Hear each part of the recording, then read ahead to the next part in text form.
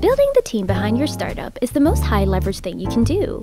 That's why you need a process in place that will ensure the path from job opening to final offer is a smooth one. Notion can be your ideal hiring companion.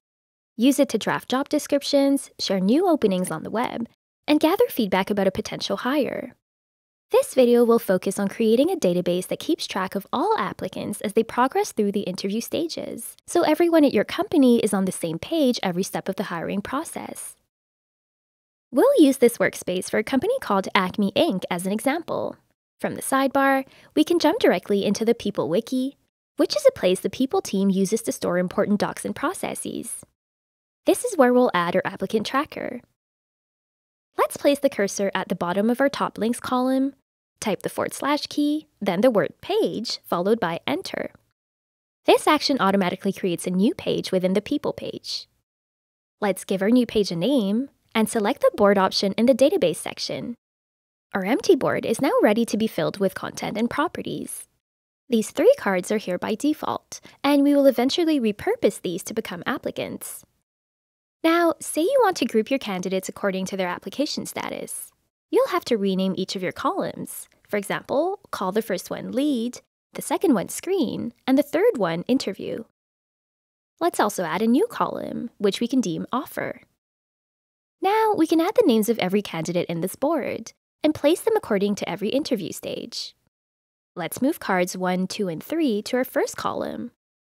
This column is here to display cards that have no status. Since we plan on assigning a status to all of our cards, let's hide it from our database. Click on the first card, and you'll see that every entry is in fact a page in itself. Rename it at the top, and click out of the page. Repeat the same steps for cards 2 and 3. To add a new card to a column, you'll just need to click on the plus sign and type in their name. As soon as an entry has a name, you can click on it to access its page. You can use all this space to store everything about the candidate, jot down interview notes, or tag teammates for feedback. But you'll want to add structure to this content to make it easily readable by anyone hopping into the interview process. To help ensure your interview process is standardized for every applicant, consider using a template that contains questions every interviewer asks, provides instructions on next steps, and more. If you click on the downwards arrow next to New, you'll find the option of adding a template to your database. Click on New Template, and a new page will open up. Whatever content you add in there will be duplicatable. Let's name our first template General Screening Interview.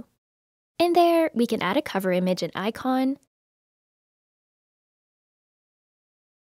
specify that the status is Screen, and paste in the questions every interviewer should ask to fill this role, and any other specific interview steps or structures. Notice that we're using headers to separate our sections, as well as bullet points and checklists to show how we want the answers displayed. Once our template is complete, click out of the page to save it. We can repeat the same steps to create as many templates as we want. For example, these software engineer and copywriter templates show the questions the team wishes to ask for each of these very different roles.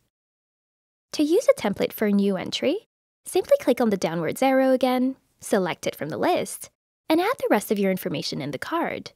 No need to copy-paste anything from previous cards. This section at the top is dedicated to properties. We call properties pieces of information about each entry in a database. They can come in many different forms, such as text, numbers, dates, and even people.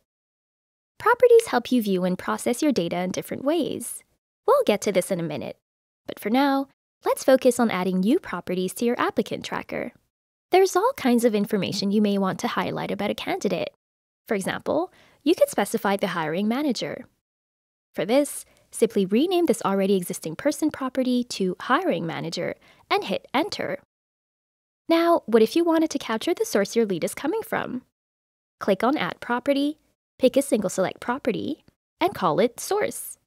In the empty space next to it, type in inbound followed by enter, then referral, and hit enter again. Now, every time someone adds a new candidate to the database, they'll be able to communicate whether this person came as a referral or an inbound lead by selecting one of the two options in the dropdown. You can use single select properties to save information like the role the person is interviewing for, or the team they would be joining, as well as the office location. Another thing we can add is a property called Skills and make it a multi-select property. This allows you to add more than one skill per candidate. Let's attach a website property where you can paste in the person's professional website, their LinkedIn profile, for example. To have a candidate's email handy, include an email property.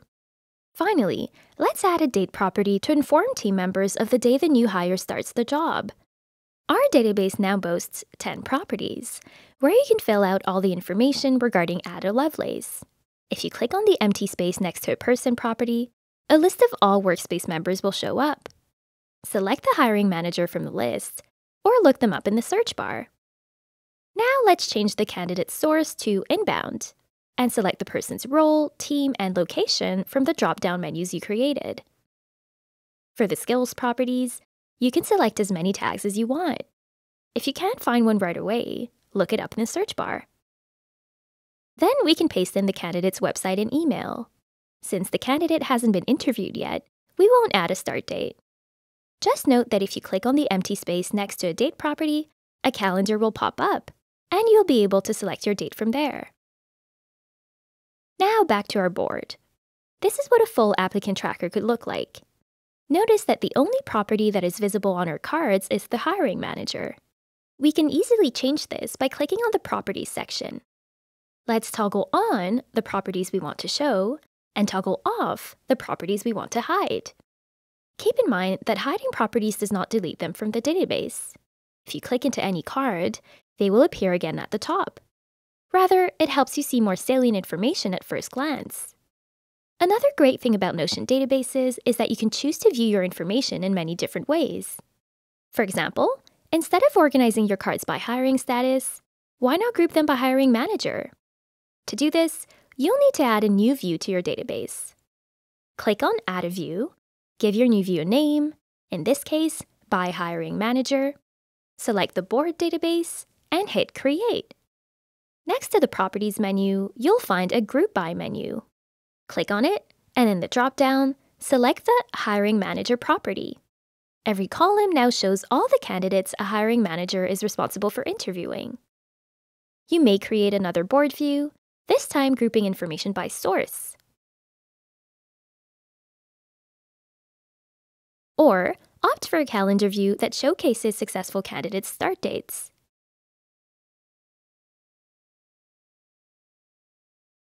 Finally, you may want to create a table view for every team. Now, if we want this view to only show engineering candidates, we'll need to add a filter that specifies we only want to see entries where the team is engineering. Let's create a table view for every remaining team and apply the same filter for them.